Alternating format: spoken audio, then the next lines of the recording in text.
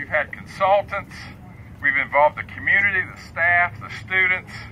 Uh, but finally, after much thinking, much thought, the board administration came up with a plan and we took a bond referendum question to the voters on election day last November. As Mr. Gordon said, with a huge turnout and almost an unheard of 80% positive vote, we have now begun the last leg of the journey to build a new school and renovate the current building. I have great appreciation for our Board of Trustees who've listened thoughtfully to the community and parental ideas and concerns.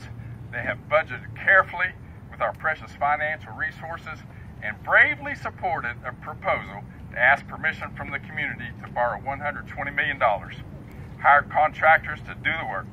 Your efforts will soon be rewarded, and we will have a, a facility here that will impact education in Spartanburg School District 2 for decades to come.